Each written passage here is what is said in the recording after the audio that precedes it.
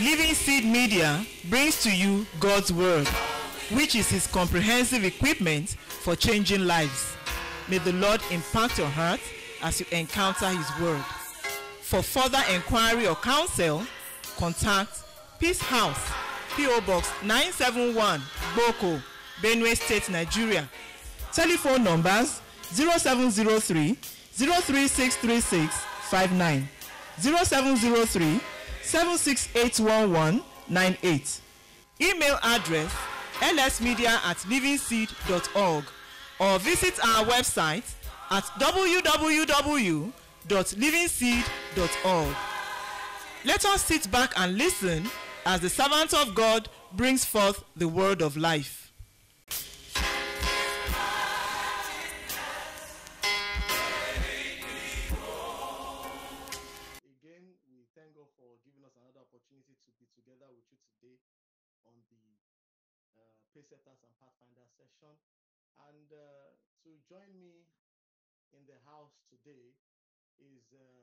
Brother, uh, Babatunde Ojebile. Uh, Babatunde Ojebile is joining us in from Lagos. He is uh, a certified uh, surveyor.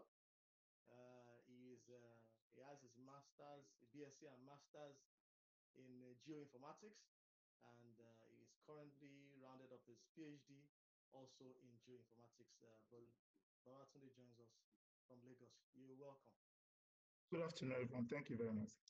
Also joining me in the house is again Deborah Mensa. Deborah Mensa joins us uh, from Russia. Deborah Mensa has done her BSc and MSc and is currently concluding her PhD also in Russia. Deborah, you're welcome. Thank you very much, sir. Thank you. Right. I would uh, be handing over to them to quickly introduce our guest today. Uh, over to you, Bro, today. All right. So today we are privileged to have our panelists with us. We have our guests, and one of them would be Bishop Dr. and Dr. Mrs. Ben Kwashi. They are a couple. And Reverend Dr. Benjamin Agak Kwashi was born in Plateau State into a Christian family. Reverend Kwashi first followed a military career but felt the call of God over his life in 1976 and resigned to follow the Lord. He was ordained an Anglican priest in 1982 and proceeded to serve in several rural and urban parishes. He also became the rector of a theological college. He was consecrated as the first bishop of the newly created Anglican Diocese of Jos in 1992. Reverend Kwashi obtained a Doctor of Ministry degree from Trinity Episcopal School of Ministry in 2002. In 2008, he was ordained an Archbishop of Jos province in the Church of Nigeria and was re-elected in 2013.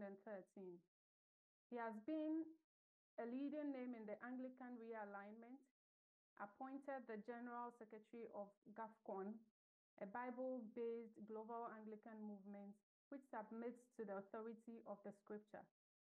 He was awarded the Doctor of Divinity degree honoris causa from Nashotah House Theological Seminary in 2004.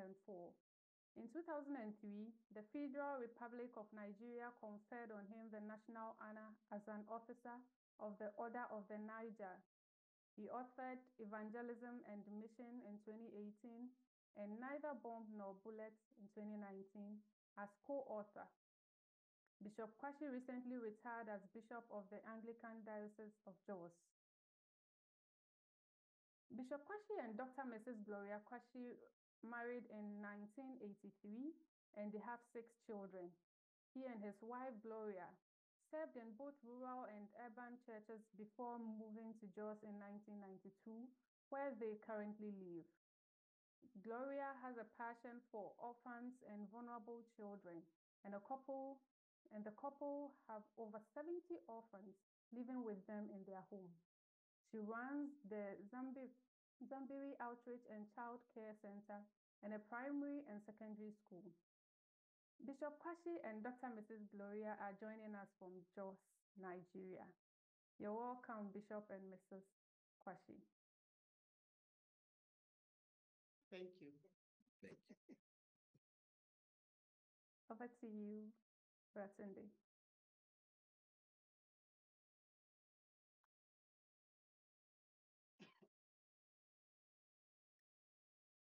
You're very much welcome.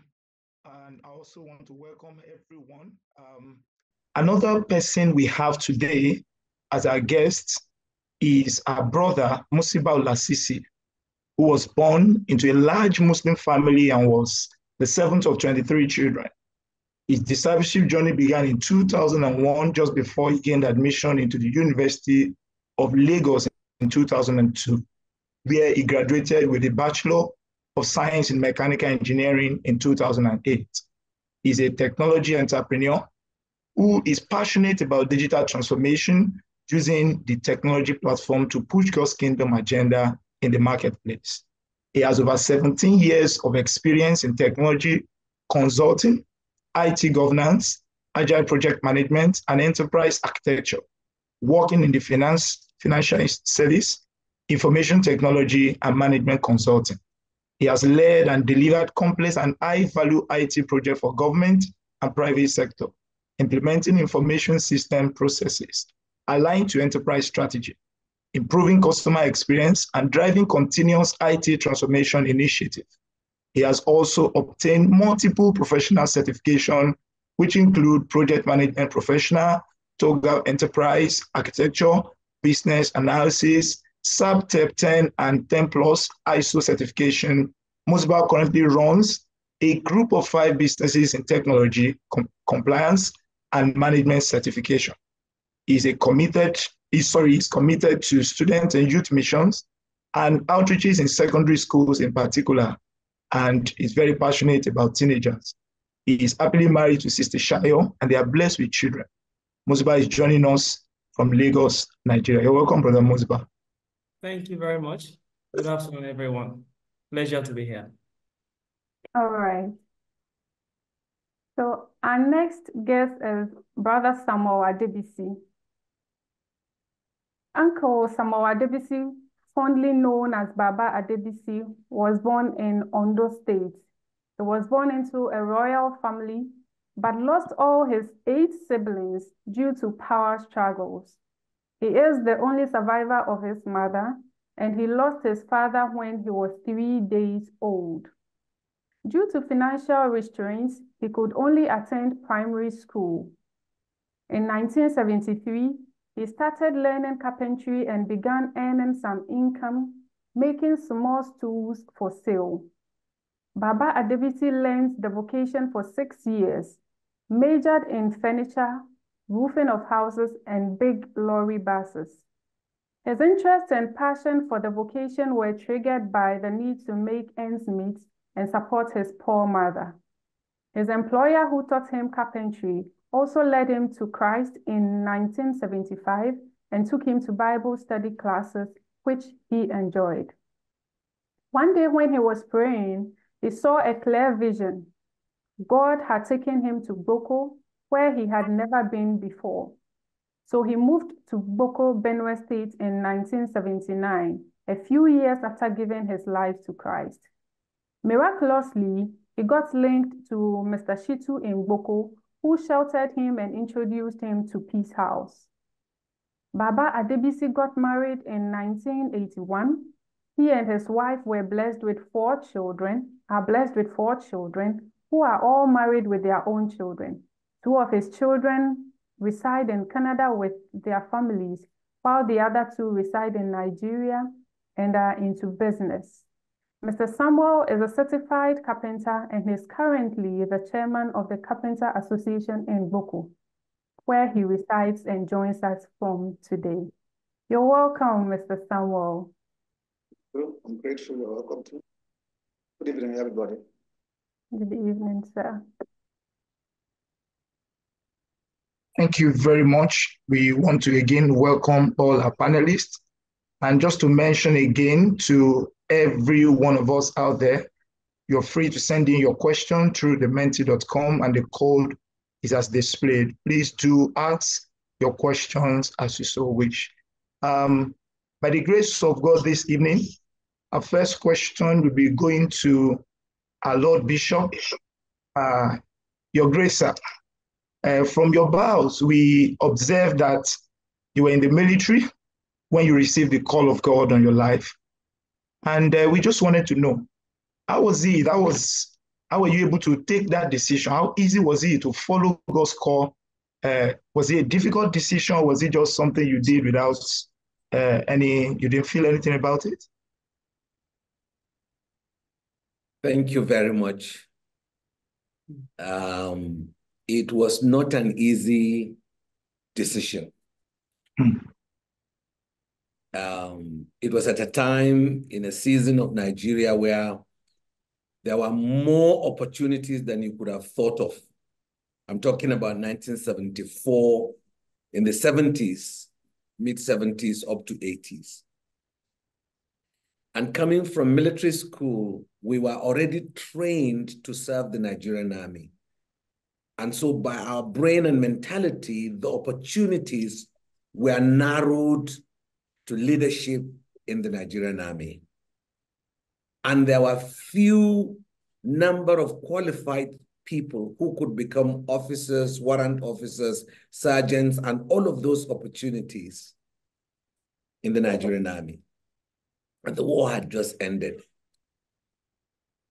So the opportunity came to me to make a choice between taking either a short service commission or finding an opportunity to go to polytechnic and university, which the army will sponsor.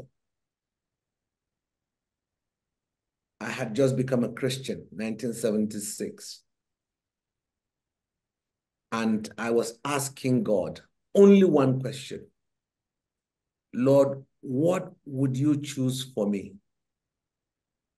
And one scripture came to me Matthew chapter 6, verse 33. Seek first the kingdom of God and his righteousness, and all these things shall be added to you. That revolutionized my life. And so I walked to my immediate boss and told him, I'm leaving. He asked why. But I tried to explain as a young boy, as a 20 year old, he couldn't understand.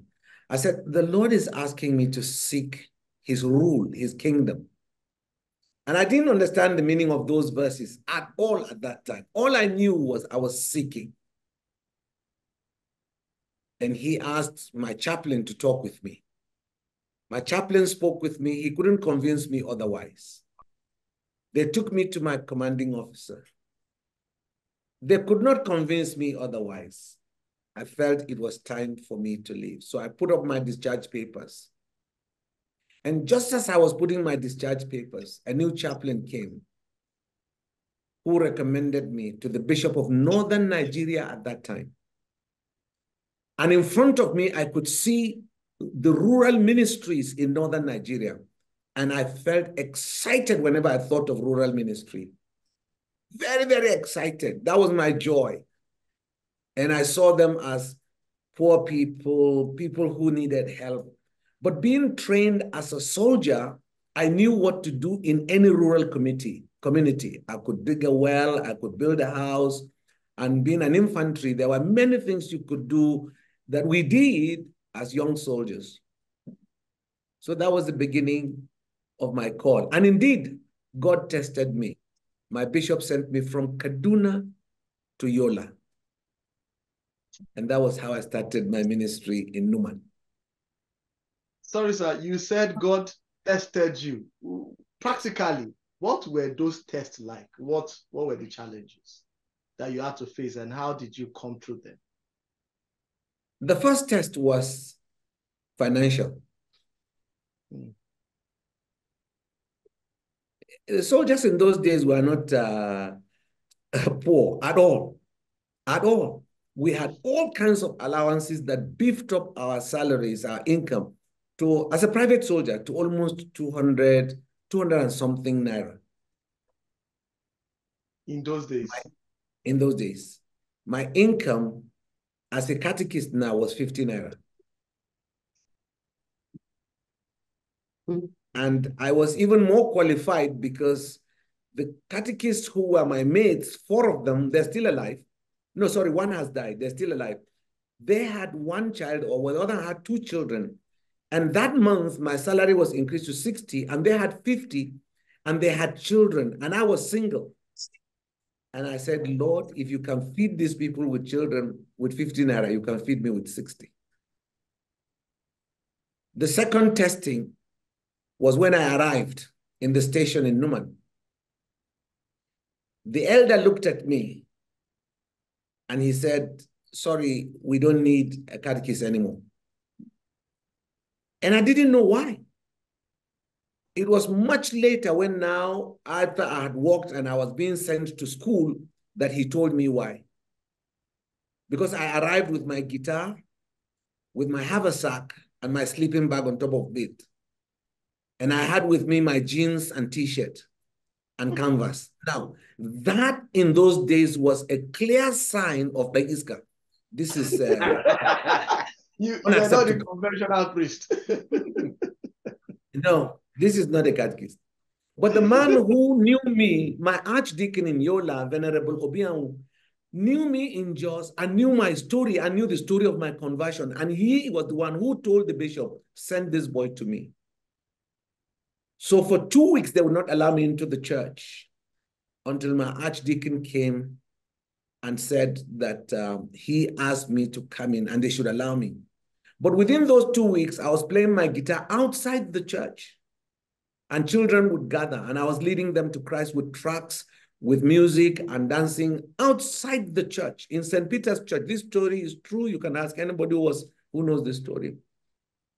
So the women of the church children would go back home and they would tell the story. So the women of the church fought the elders of the church. They said, we want this catechist in our church because their children were being led to the Lord. And that was the test that I had to go through. The last test, of course, was there was no house. So I slept outside my first night. Of course, I had my sleeping bag, I had my guitar, and I had my, I would just play at night, eat bread, sardine, and so on under the open heaven. Yes, yes. The, the, tree where I slept under, my children know it because whenever I travel to Numan, uh, my wife knows it. She's from Numan. They all know the place, and I show them. I say, "This was where my first night was." so the bishop then, the Lutheran bishop Akila Todi, who knows my bishop, and I went to plead with him about a place. He gave me a youth center, one room in youth center.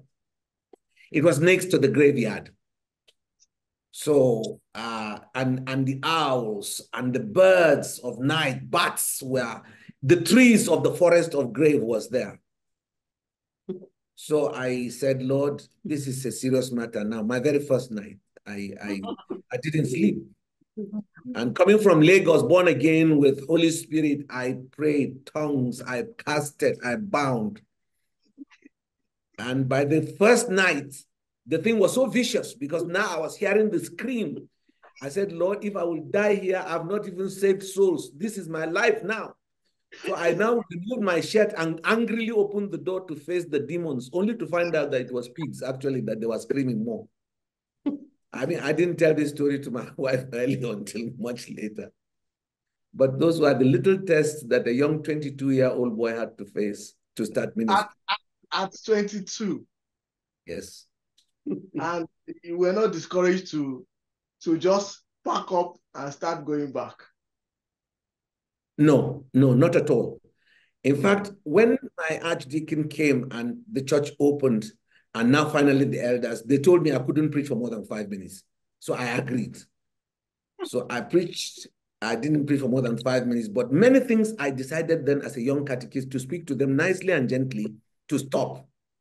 And they didn't like it but they couldn't fight me because I was always smiling and nice and humble. Anything they said, I say, yes, sir. But I was getting along, and the women were supporting me, and the children were supporting me. Uh, some of them used to bring beer to the vicarage to drink. I said, no, this one, please don't. And it was so nicely that by three months, the church grew by about 5%. Hmm. So the story began to spread around town that there's one young uh, Anglican. They, they didn't even know the difference between catechism and, uh, and pastor because I was wearing white cassock. I didn't have many clothes, so only white cassock all over. So they thought I was a reverend father also. So all over the village, they just knew me, and the Lutheran church accepted me. Um, the brethren at that time, young brethren, Philip Mukunga, uh, Paul Taya, all those young boys now, young men at that time now, who are now bishops all over Adamawa, we all were together at that time. I attended AFCS conferences, FCS meetings. In fact, FCS meetings held in the youth center next to my room. So mm. That was big encouragement for me as we moved quite, on. Quite, quite a testimony. Let me hand over to Brotunde. Maybe he has a question next before we move on. To... All right, I sure do. I sure do. Um, Paul in Second Corinthians, uh, your grace, uh, um, said, "For we are alive, uh, and we are always given over to death uh, for Jesus' sake, so that His life may also be revealed in our mortal body." Uh, we saw also that you co-authored a book titled "Bullet, Neither Bullet Nor Bomb, or not neither bomb nor bullet." And um, we, I just wanted to know, I mean, what inspired such a book? Was it the beginning of this kind of experience? Where did, was it these demons you started talking about, or were there some other experiences that uh, uh, triggered the writing of such a book, sir? Would like to know. well, um, before I got married, I served in Numan, I served in Vom, and then I got ordained and posted to Zaria. And then we got married with Gloria in 1983.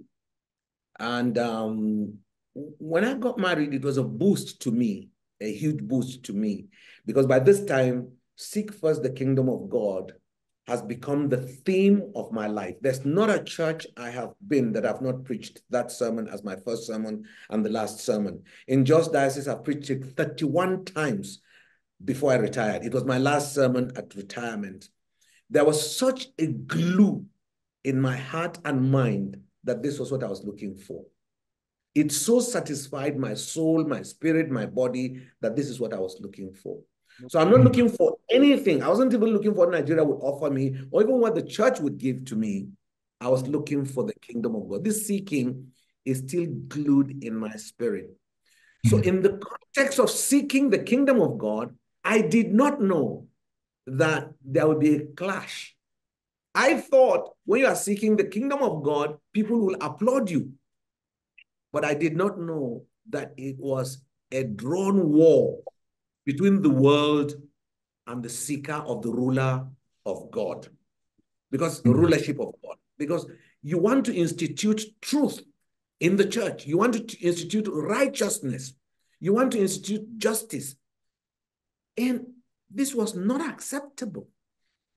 And it's worse in the time by 82 because it was military regime and, and my wife and I were so interested and keen about opening health care for the poor in the rural areas. Would leave Zaria and we used to have assistance from our church members who are professors in the university, teaching hospital and university campus. Many of them would support us. We opened up villages around Ikara area and they would come with us. And we were doing all of these things starting you know, little communities of pure Hausa Christians who are being converted. Late Bitrus Gani would go and teach there. Late Professor Ishaya Audu would go there to help me with medicines. Um, Mrs. Um, Professor Ekwempu, many of these people followed us and we had huge support from Graduate Fellowship in Zaria. And we were doing this to help and bring people to Jesus, to bring the reign of Jesus over lives.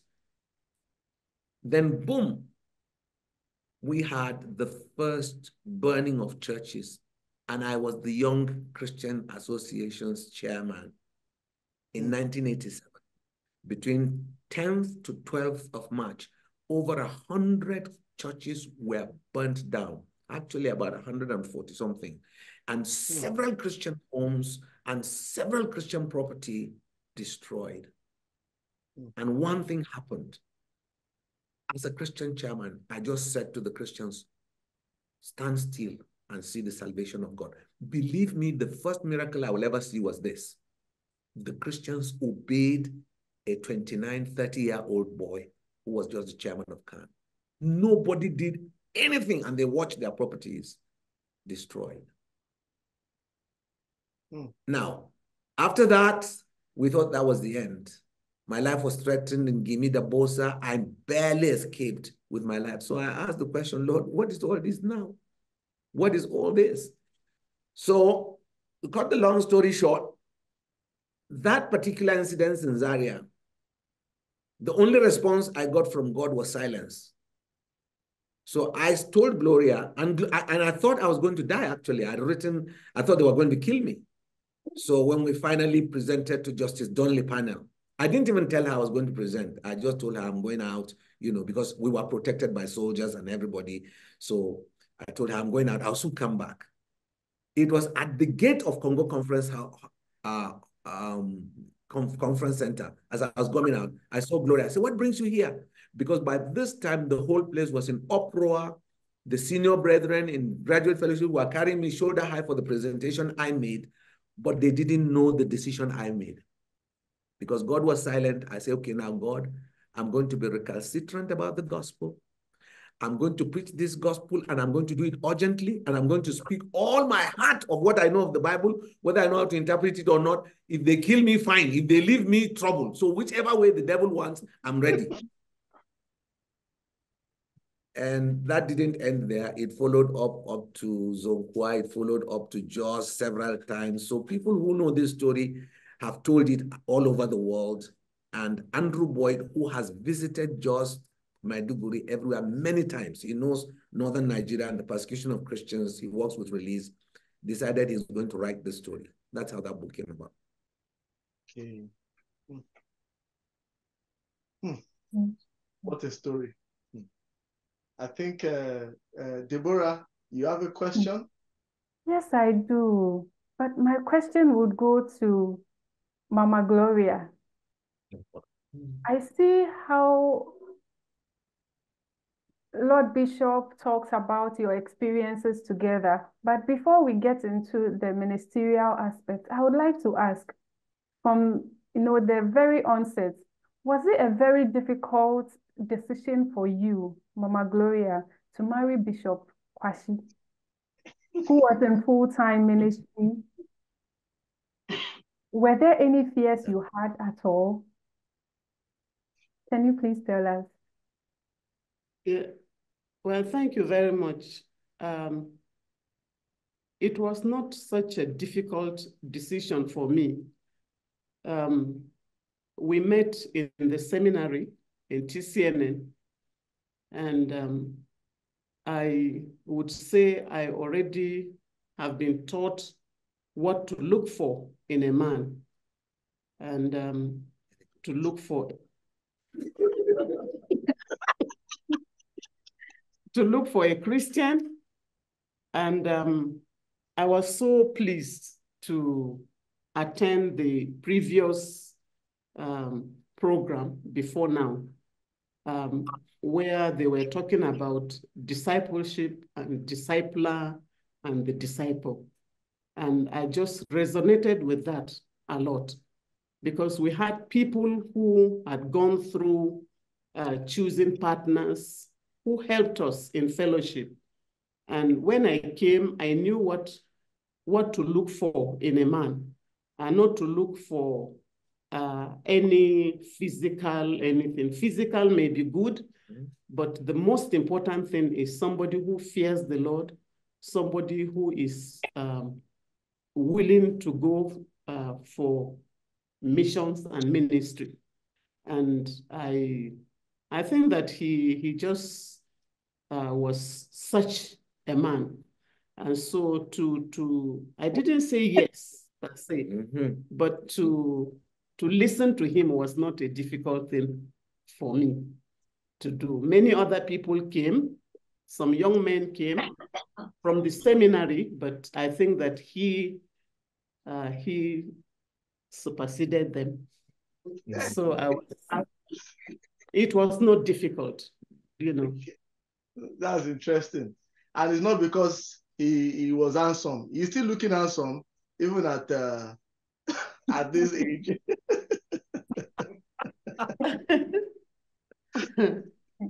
he's not bad. He was not bad, and he's still not bad.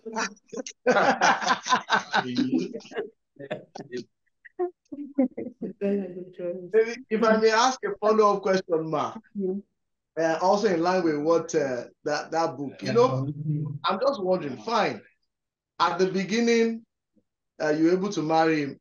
Can you what through all those uh, death threats? What was it like? Can you even share one example and how how it came to you? How God helped you through it? Share one example of such situations where it was between life and death. Um, the the one he spoke about, uh, I will say, will be the first to me in Zaria.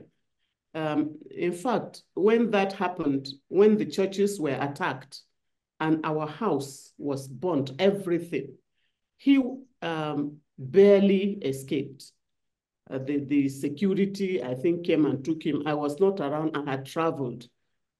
So when I was at home, the story had started, you know, to go around that somebody was, uh, the chairman of CAN in Zaria was killed, that is a young man. Uh, they described him, they described the, you know, my husband and that as he was standing and preaching that the muslims started throwing you know how people tell stories that they stoned him he fell from the pulpit and then they stabbed him all sorts of things i was pouring my milk to give uh, my child because i had a child that was um, six months six months old so i was pouring his milk and then I noticed that I was not really attentive because I was listening to what the women who came back from the women's fellowship were sharing where I was.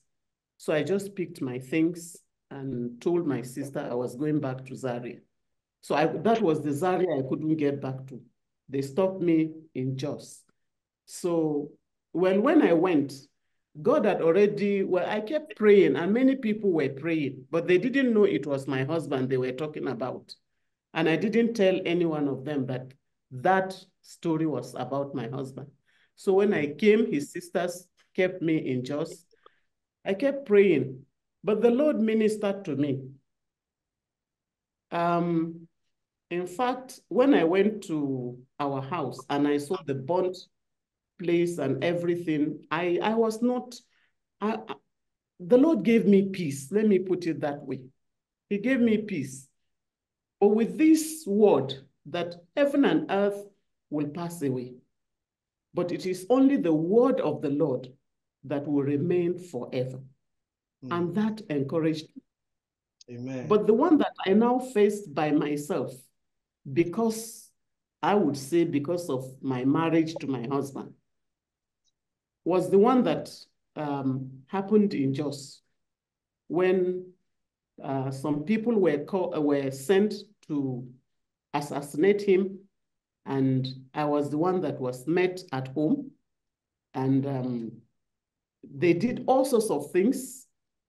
But again, I remember calling on to Jesus.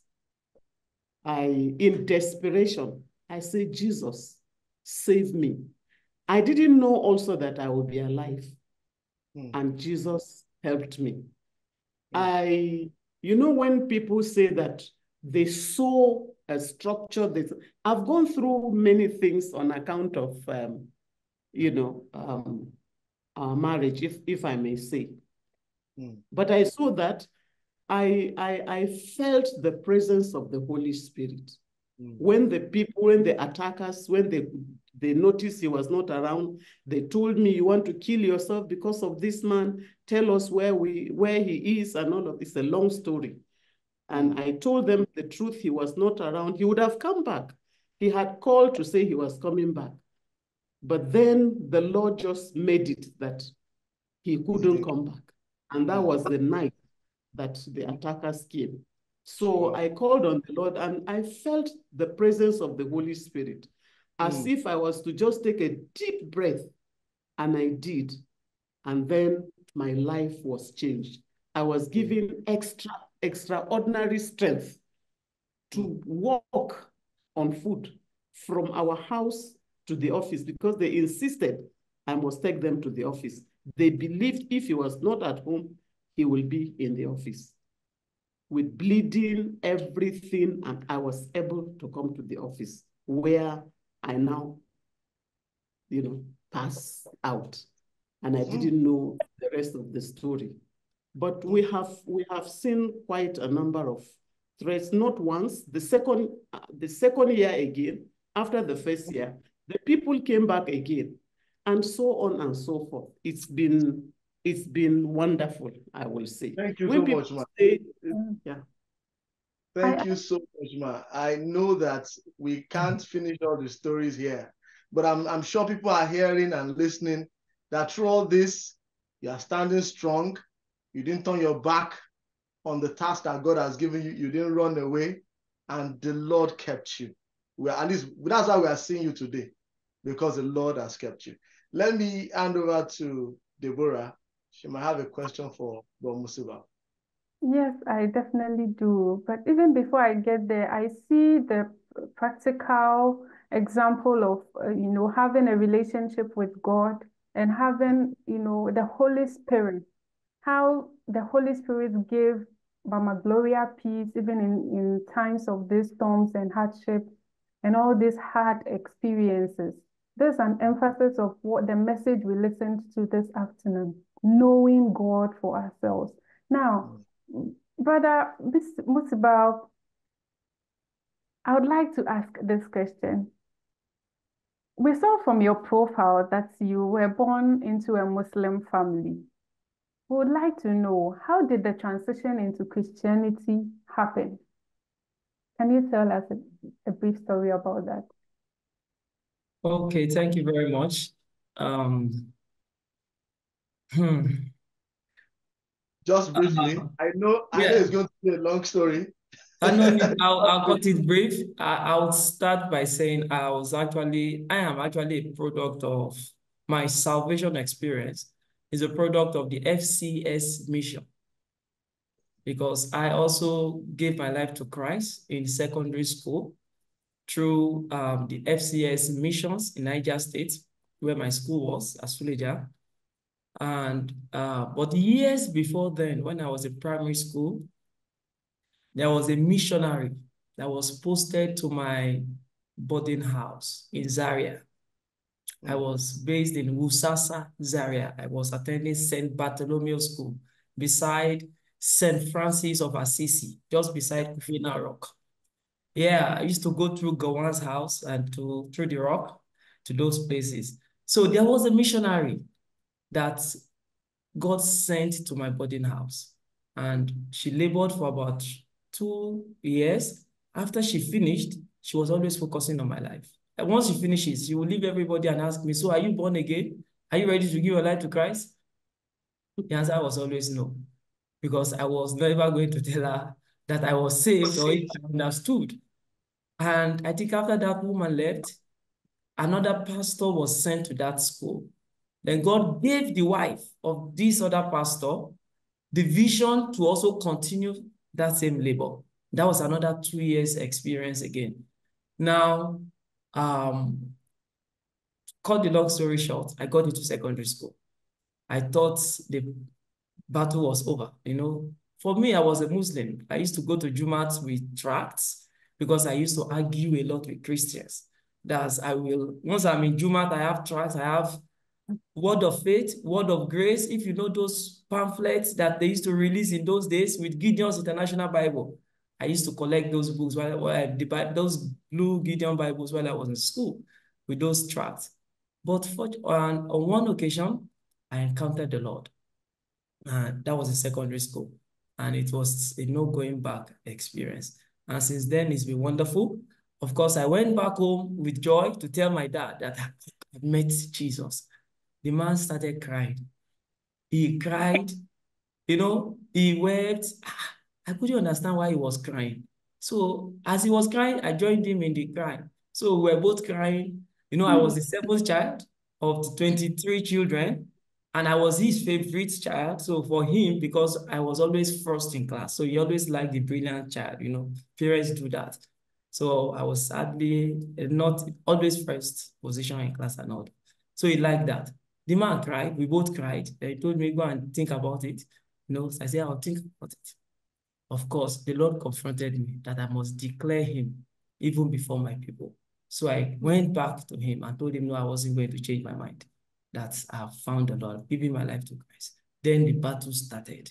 Yes, it was not a small battle. Yes, I was sent out of the house. I was this. Wow. You were sent literally out.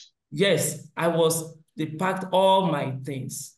I have a twin. I have a twin brother. So they separated us. Yeah, they didn't even consider whether I was a twin or not because the there were the when the imams came, they had two decisions, two options.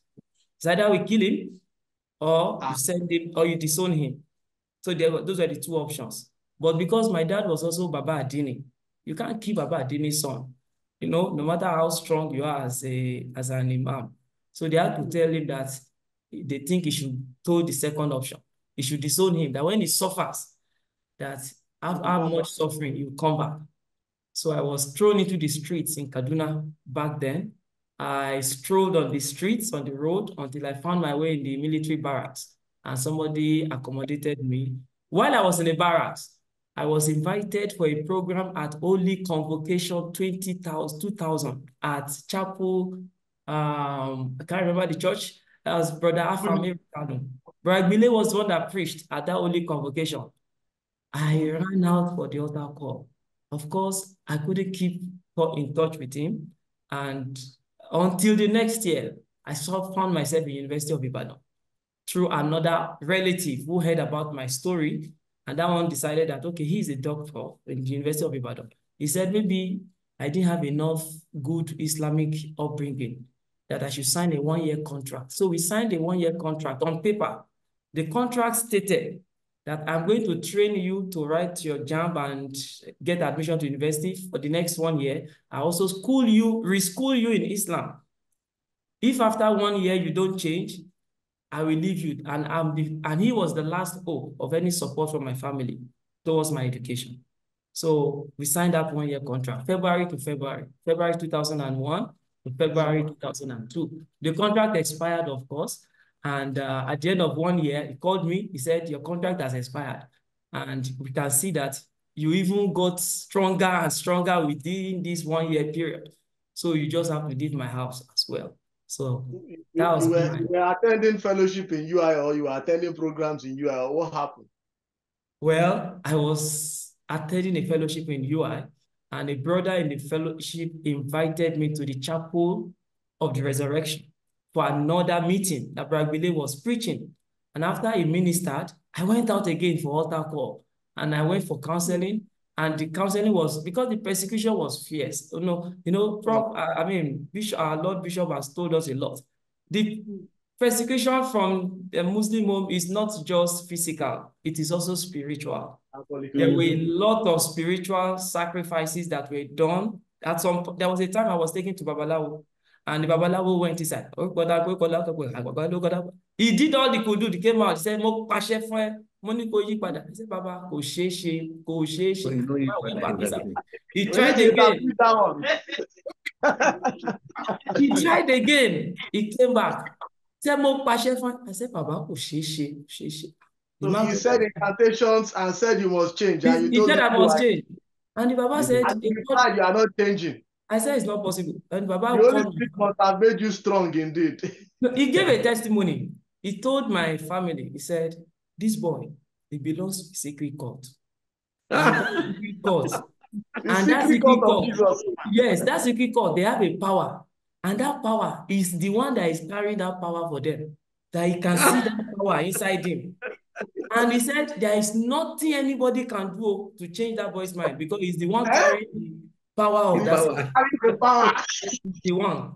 So that was my that was the testimony of the Babalawo. And since that time, they started leaving me alone. You know, they just you know, I just I just wish our young people are hearing this. There's a power you carry when you're in Christ Jesus.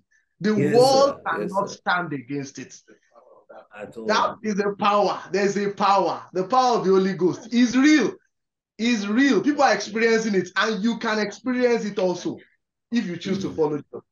Thank you very much for that. For that. For that. Let me let me let me allow our moderators to go ahead. I don't know whether it's Botune that wants to ask him the next question. You want to ask about BBC's next question. Thank you so much for that testimony. All right. I actually want to ask um, Baba Debisi the next question. And um, Baba, we just looking at your biography, a very difficult, so to say, family background.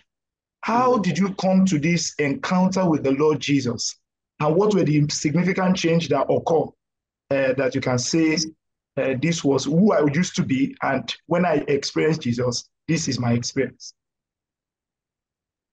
Thank you very much. Uh, it's God. Is the uh, to me, I just find it like that. It's God's grace. You know, after I was a Jehovah Witness, to say the fact, I'm very deep witness.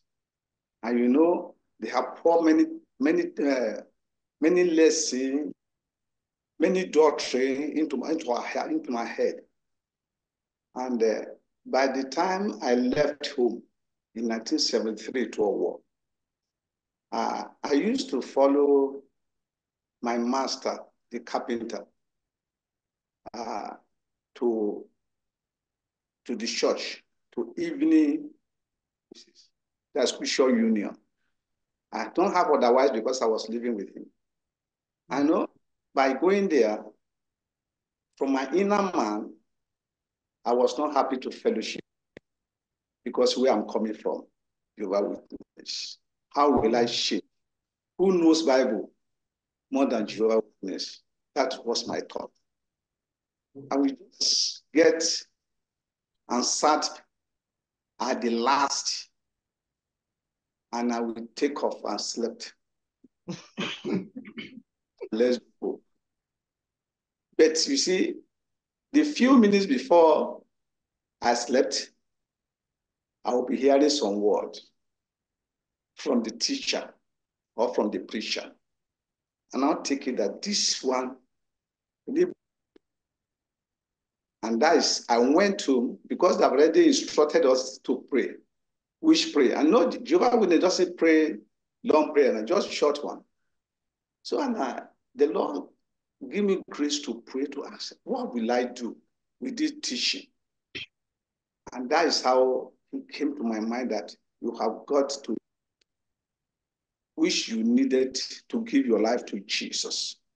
Mm. And that's how I open my heart in the course of listening to the word of God in Scripture Union of those days.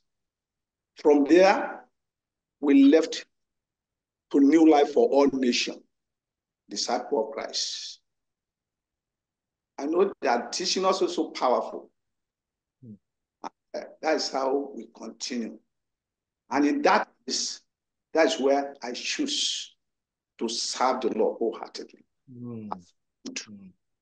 I wish to tell you people that uh, if the youth can have ear to the let them listen. From the youth day, you need to submit to the law. When you because by then I, there's no helper. Remember, mm. I I lost my father in three days old. And my mother is poor woman. And I didn't go to school. I stopped from my sis in 1969. And that is what I have today. By God grace that I'm okay with that. But I want to tell you, in this fellowship, gather about seven brethren, young brother, youth, we pray for the church. We pray for the church. Sing God. God, why am I here? You know, I've already left Jehovah Witness now. Mm. Praying with them before church, before the church we start those days, we are already there. Mm. We have night vigil ourselves. Mm. Go on. And that's and, as as young people. Yes. That's mm. why I'm telling you that the youth, the youth must listen. I'm not mm. here for you, you are being university, but I'm telling you that I didn't go to university, but today I can share with you that being giving your, I'm not saying university is bad, but being giving your life to Jesus as a youth. We pray. God kept coming down to me. And I hmm. was, I'm looking at you, I will be seeing, I will, God will be telling, just talk to you in just four minutes. I will know what you are thinking. I'm so surprised. The Lord just said, I was thinking, look at this brother teaching.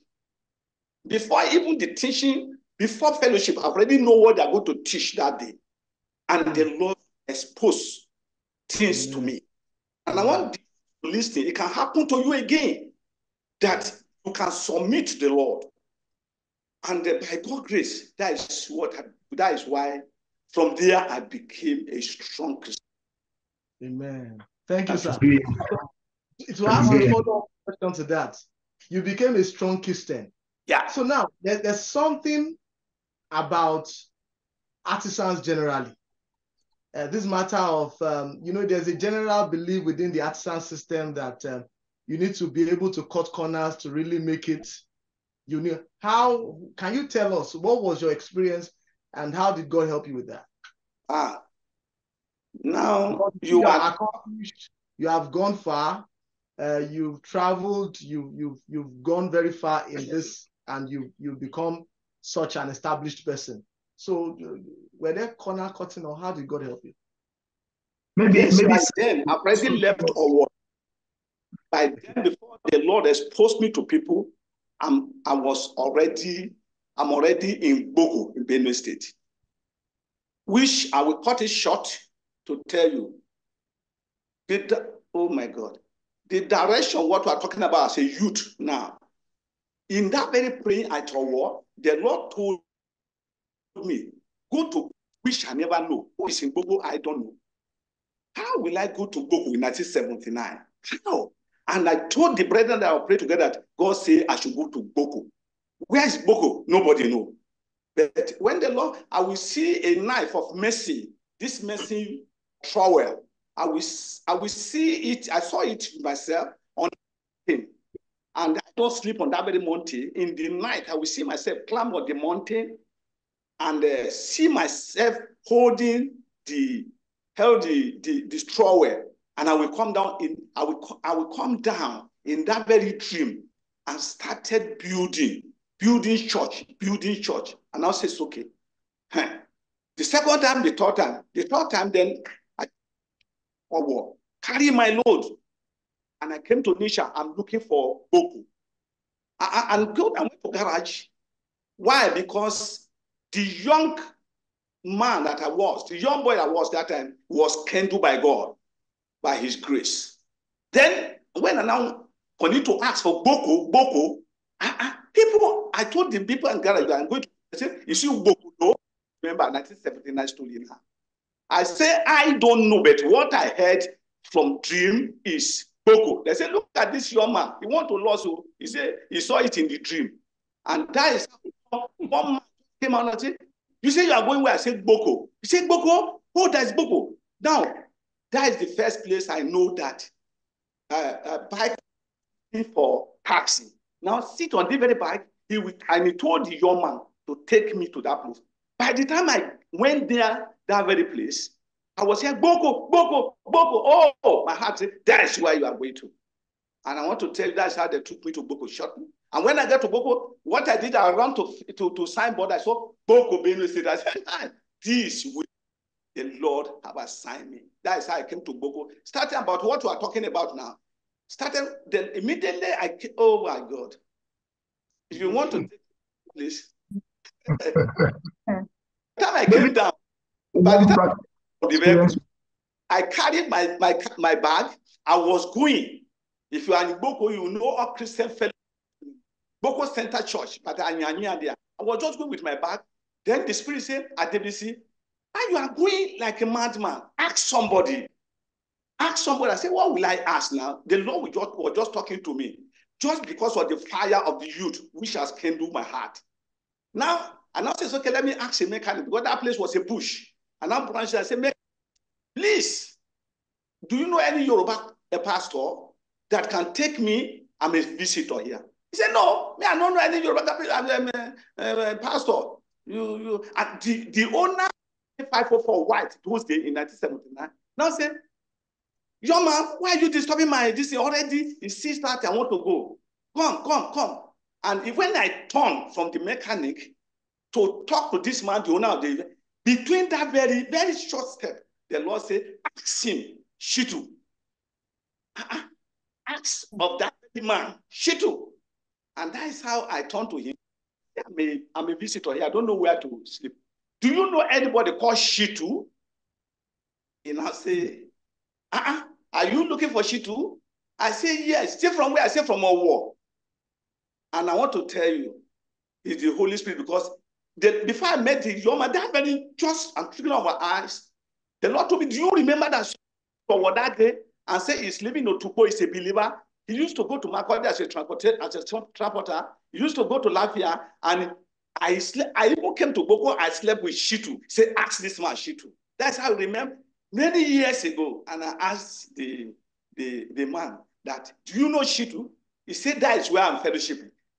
New anointing ministry. Say, to take you there. If you are the one, what will you say? that is how I say yes. And that's Thank you very much, sir. Uh, thank you. Thank you. Sir. Thank you. Thank you. This is a serious experience. So, so, so mm. now there was just one point I wanted to draw. Yeah. As an artisan now, so of course you have given us the background. We see that clearly you were led by God. Yes. So, uh, th does that imply that all the regular changing of figures that artisans do, mm. inflating of uh, things and all that, it was 10,000 kilometers away from you? Sorry. That's the question you asked before, but I was carried away. Sorry. oh, so I you just, give me a yes and no answer. I just want to analyze this area that youth, we know that God is in control. Now, yeah. about changing of figure, uh, when the Lord spoke to me and said, I want to introduce you, and uh, I'm going to get work from here and there. All the pigment govern, they were just calling me. And there's some people, they will just bring money and give to me, million. And I never hold million. I never heard million before. And the Lord helped me. I never change figure. I was open. You were, you were getting the million inside Boko. Yes. Yes, especially, I want to tell you, million. Even if you want me to mention the name of those people, I will mention million. They, even, when they don't for me, they will say, I I will come back, I will record everything and I give it to them. They were so the only when now now make me to see that the Lord now uh, introduced me to many people, especially mm. especially uh, some people when they said that Adebisi is a Yoruba man. The Lord bless him with wisdom and he can walk. He doesn't change figure. He's a mm. foolish He doesn't, he doesn't charge. Give your work to, to him. And that's how. They say a foolish man. Give your work to him. yes, he don't know don't know anything about money. He doesn't know how to cheat somebody. yes. Amen. But, but in the long run, in the long run, that means it made you to have more jobs yes. and do better, have bigger more jobs, customers. And yes. earn your good pay, your honest yes. pay very well. Praise yes. the name of the Lord. Even the, the, the Igbos, that's the only the people that challenge me.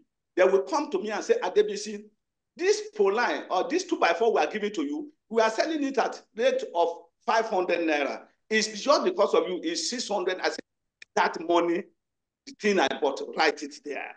And they was not happy. But the Lord will bring you jobs. And later, Amen. They knew me and they agree with me. Amen. Let me let me allow um, uh, us to go quickly back to the Lord Bishop. Our time is uh, is running. Let's yes. quickly go back. Yes. So just before we go to Lord Bishop, one of the things, key things I'm learning from Baba Adebisi's story is how God is able to lead you, guide you, and make you, despite your family background, despite your educational background. It's one mm-hmm. key thing I'm learning. Once your life is surrendered to Him, He's able to make you. Amen. Amen. So, to Lord Bishop, please, as a minister, in what specific ways has your marriage enlarged and prospered your ministry and God's calling on your life? Now, I ask, I'm asking this because there's a section of your story that tells how one time you, or there were instances where you had enough to buy some flashy stuff, but your wife would not allow. And she would surprise you with bringing some people and all. I would like you to emphasize that as you ask this question. It's going to bless us as young people. Honestly, I think that my father loved my wife. Um, my mother did, and and my younger sisters did. They did. I didn't know why they loved her, but I was to discover later on that thriftiness is a is a good thing for every Christian to exercise, and how to save money and how to use money. But my wife is extremely thrifty. So when you have an extremely thrifty person, it's it's it's funny. So in any case, I learned how to serve and I save and how to invest and and make sure that our monies are properly used for the kingdom purposes because I'm a kingdom seeker. However, there is some other aspect of me that was still there. I mean, I was thinking in my life having served that by the time I'm 70, which will be next year, I would be riding a sports car because I wanted to be able to go to places quickly, um, you know, and, and, and then do my ministry and then come back. And I didn't want much, you know, it's a two-seater. The sports car. Yeah. uh, it was. So and I specifically wanted uh, a Mercedes because I've always driven a Mercedes. I like Mercedes. It's a reliable car. It does what it wants. So I was preaching in Germany. So I went and I saw the sports car that I wanted. And I, I saved them. I was I was looking at it. I drove it actually from Stuttgart to from Berlin to to, to Stuttgart. Smart car, you know, fast and everything. Two-seater, 350 CLK compressor. So so when I came back from Germany, unfortunately for me, I saw some 16 or so little children. And um, I said, Gloria, who, who, are, who are, did you get these children from? She said, they are our children. I said, our what? She said, you know, with whose permission? She said, eight of them even have HIV and AIDS. I said, in my house, AIDS. How can you do that? And our last child was just six years old. How could you do? We can't survive it. I, I'm not allowed. She wouldn't listen. She followed me upstairs and said, Ben, all I want is money for blankets and mattresses because by now they were littered all over the living room. And, you know, they were little children so naturally. They pee on the bed. When we come for prayers, the smell of the, oh God. So I said, no, look, let's build something around the house. That was the first mistake I made. When we built so a small, money went. We bought, uh, we built this block and for boys, for young girls, and then by the time I traveled again, I came back. They were now thirty-two. so my sports car became the money was depleting, and then before I would know it, she had started the school with over 300 at that time. All of them vulnerable children and half orphans and full orphans. She would feed them every day up till today. And she would pay for their exams, uniforms. So my sports car became, it's just gone. I've forgotten about it. Now, if you see what I'm driving now, you feel sorry for me. it's, it's, a junk, it's a junk Suzuki put together. I mean, it's outside there. That's what I drove here with. So, I'm, I'm just a miserable case about that. But let me tell you, I am so thankful to the Lord that that little greed in my heart that was hidden, which nobody knows, Hmm. that that feeling of fulfillment in a car, which nobody knew, but she knew. I told her, God has delivered me using. Hmm. So I'm now not enthusiastic about any car anymore. I ride bicycle since I retired. I've been riding bicycle. It's only because of the rainy season that I brought back this my junk car, which I put it together. It's about 28 years old.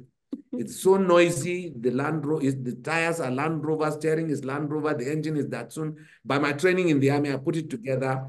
If it's raining, you have to enter. You have to enter with your raincoat in the car because that's how it is. But it moves, so I'm okay. No, no, but this is this is interesting. Uh, the priorities. I I pray God keeps helping us with correct priorities for eternity. I'll allow bro Tunde to quickly move out to bro Musiba so that we can begin to wrap up. Okay. All right. Thank you very much, uh, Your Grace, sir. We're very grateful how that the Lord, for me, I'm just seeing how focus is properly directed and God is using your home to help you to sharpen that. Uh, I trust the Lord that He will continually strengthen you in the name of Jesus. Our brother Musbah would like to Just, just a minute, ask. just a minute, Tunde. Can I just Yes. add that because of her, we have graduates now of the children. who are here? Mm. Some of them are teaching in the school, and quite a number of them in colleges of education and tertiary institutions, and all of that because of this testimony. So it and, and they're committed Christians. I mean, some of them have even gone into ministry right now, and are graduates even of theology. Mm. So I- I- And you know the point is, the point is some of them may have become more of the robbers, the armed robbers, the assassins, the kidnappers, because they will have had nothing to do. Mm. They will have had nothing to do. And probably that they would have been part of the people hunting this podcast. But this must be very fulfilling. Um, really bless the name of the Lord. Um, brother Musibao, can you tell us? We'd like to know what impact has discipleship had on the trajectory of your life? Uh, from that boy who, by the grace of God, met the Lord, and then to university, and now we're hearing of different things the Lord is doing with you. What role did discipleship play in all of this? Wow, discipleship Very played Very everything. brief. Oh, very brief. Now that's okay. Uh, very brief. I'll use timeline to answer briefly. Timeline 2000 Holy Convocation, 2001 UI experience with Bro Gbile. Right there, I went for counseling. Bro Gbile handed me over to Brother Jari Adedibu. He said, Go and meet that man. Whatsoever he tells you to do, do it. So I went to meet Brother Jari. Brother Jari told me, Come to Peace House Office, Samonda. I went to Peace House Office, Samonda. When I was there with him, he looked at me, and said, Look at that man, Brother Rufus Morakinyo. Whatever he tells you to do, do it. Me, I won't be around, I'll be traveling. Second handover. So I continued with Brother Rufus. Then my admission came out, University of Lagos. Ah, then Rufus said, You have to go to Lagos. Okay, there is one brother in Lagos. His name is Moses Ogianyo. I'm directing you to that brother. Go and locate him. So that was how I was had transferred, transferred, transferred until I got to Lagos. So I got to Lagos and I met Brother Moses and Sister Anne Ogianyo. I used to go to their house. I was going there. We are going to discipleship classes, doing everything. And fortunately, we were invited for Student Congress 2004. I was at that first Student Congress. And the first message, Battle for the Young, was preached. They've edited that message now. If it was the first the video, to watch that first video, you see me among the people that ran out. And Bro Gbile came to lay hands on us. I was wearing a shirt similar to this color. If you have that video, I was in that first altar, first message, live and direct, 2004 Student Congress. That's 20 years today. And um, while we were coming to Gboko, while we were in the bus, because I was already praying for a discipler, there was a young brother who was leading the team. And the Lord told me in the bus that day that that is your discipler. So I told the brother beside me, "Ah, God has told me who my discipler will be. Is that brother that is leading us to Gboko? And that happened to Brother Tokwe Adinni. And it's been more than 20 years. I mean, it's been 20 years now. And everything has been, discipleship has been everything. I've carried him along on every decision, marriage, career, work, everything. You will observe that I studied mechanical engineering, but I'm in technology today. It's discipleship. You know, you know that he's also an IT person. So uh, So it's discipleship. He does have 90%. So it's discipleship. And I can't say more than that, but I'll just add one. And then what took me to technology was because I was a problem solver. And if you know him very well, he's also a problem solver. And uh, I used to solve problems around and ICT problems. Maybe people have virus in their computers, they call me, I go and sit down with the system, I'll look for the virus, fish it out. So discipleship all the way, career decisions, marriage decisions, work decisions, everywhere I've worked until I came into business, it was all disciple. There's just so much, you know, but because of time. Let, let me ask, let me ask for just an instance. Now, have there been points where um, um, you were nudged to go in a direction in discipleship, but maybe you felt you should go the other way or you delayed or something? Were there points where you Oh, understand what I'm yeah. It, according to the timeline that I spoke about, that was in 2010, after my NYSC. I was, um, I started a business. The business was running well and fairly, you know, I was traveling everywhere. But at the end of the year, I'll come and give account to my discipler and show him the business, how it had. See, look at inflow can be maybe an example. One particular year, inflow was 12 million, outflow was about 13 million. So meaning it was negative. So we wait for the next year again, I'll work, we'll do everything, run through the calculations. Outflow was more than inflow, meaning I was running into debt. Say, no, no, this is not how to run a business.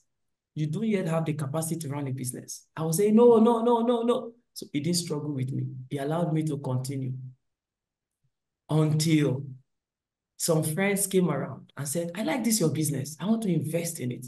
I said, wow, you like my, you're doing well. We can see you have office, you have this. And immediately they dropped money.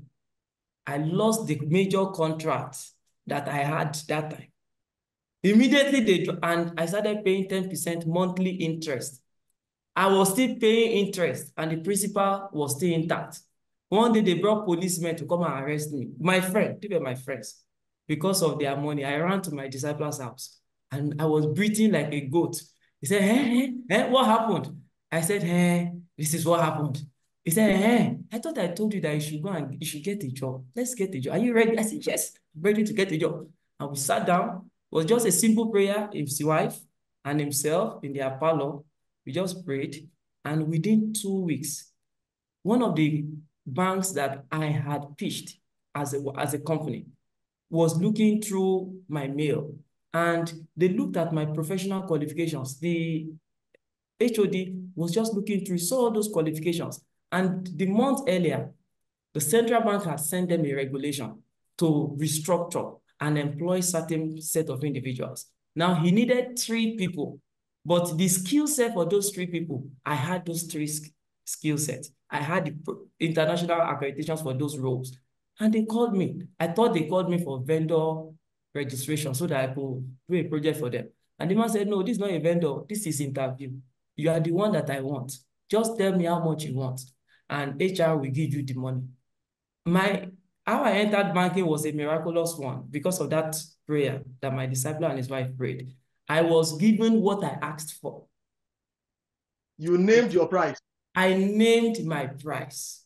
So, and I was paid what I would have earned with 15, 20 years post-graduation experience. I got that five years post-graduation. I took that offer letter home. I went to show my disciple's wife. My disciple was not yet back. She could not believe it. She looked at it. She said, what? She says, that prayer, that's what it has produced. It's what it has mm. produced. And it was, and my career continued to grow.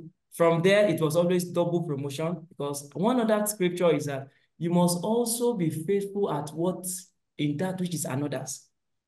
Because God must prove us. Every word of God must be proven in our lives.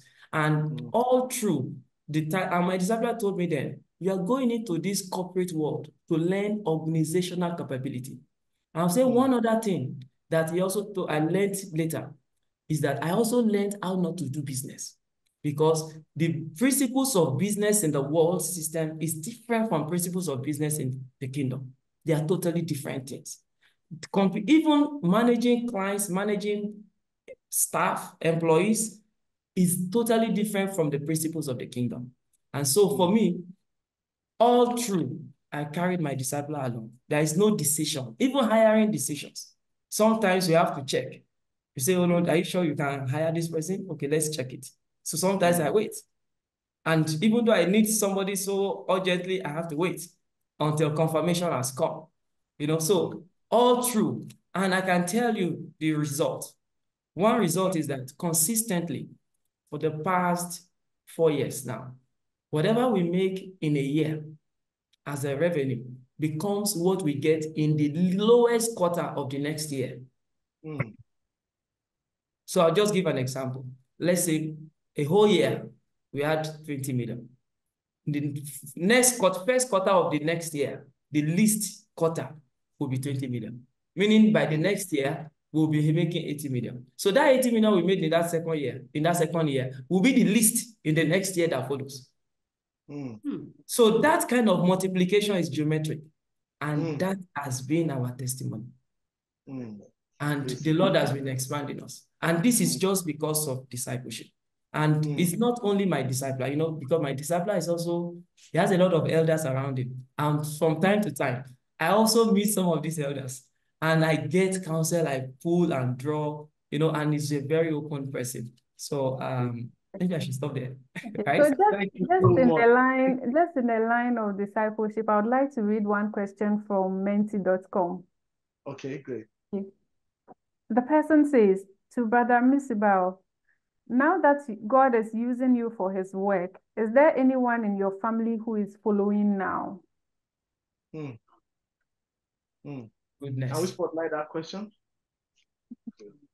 Mm. Right now, unfortunately, Mm. I'll say some have tried, but they just try to go to church, but not to be disciples. They have Mm. tried to go to church. I will use that word. But I have, there have been a lot of testimonials. I mean, um, they say it. Because one statement that was made when I was leaving my father's house was that you are going to become Enile.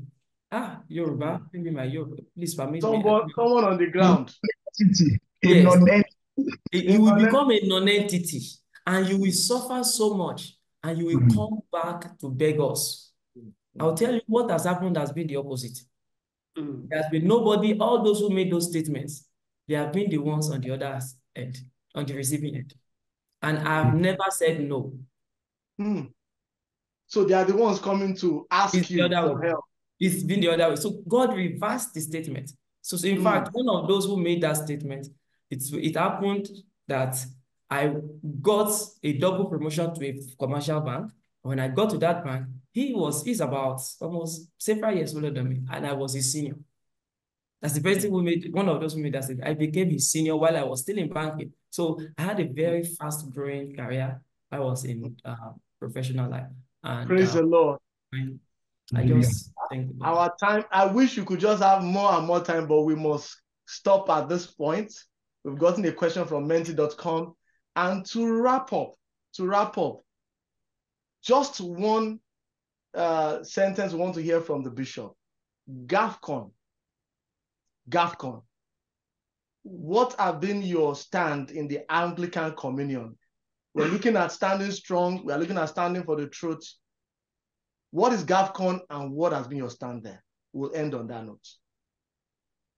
GAFCON is a theological movement. So, contrary to what the Western media are portraying Nigeria to look like, as though we are against homosexuality, no, the issue is not homosexuality. The issue is did God create a man and a woman? Is God the creator of the heavens and the earth and all that there is in it? Now, if that fundamental three chapters of Genesis is not totally believed and accepted as authority, then there will be no revelation. That is the first one. Secondly, because of the creation that God created from Genesis, he commissioned humanity to a mission in the world. God is the first missionary. So if we reject the position of the Bible in Genesis, we will have no reason to do mission at all. then Jesus would have had no reason to come into the world to save the world. And we would have been of all people most to be pitied. Mm. There is going to be a, a, a resurrection, and there is going to be a standing before God Almighty. And there is a heaven, and there is a hell. So Mm. GAFCON is a theological movement based on scripture.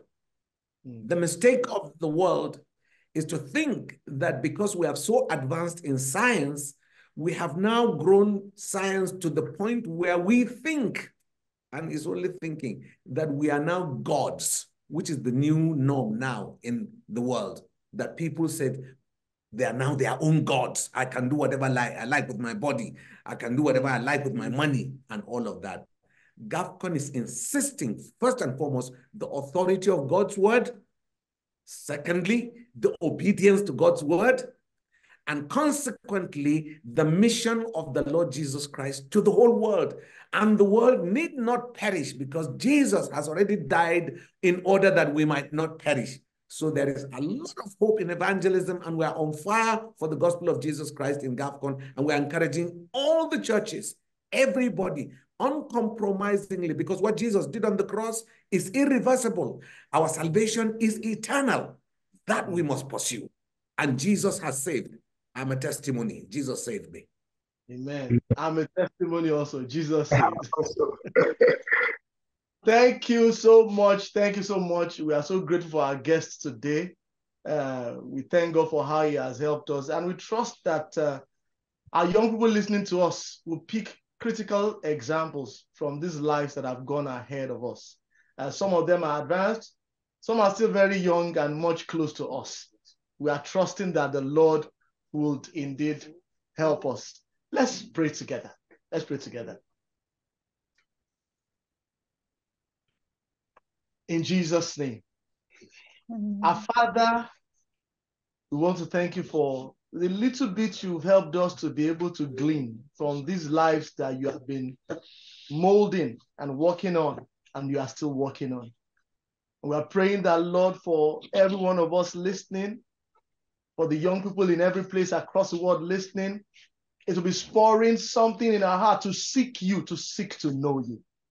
We see that you are very real. You are not a religion. No, it's not about some activity. You are very real and you can be very personal with us if we want to be personal with you. Lord, we want to pray that you help us to find you and find you early in the name of Jesus.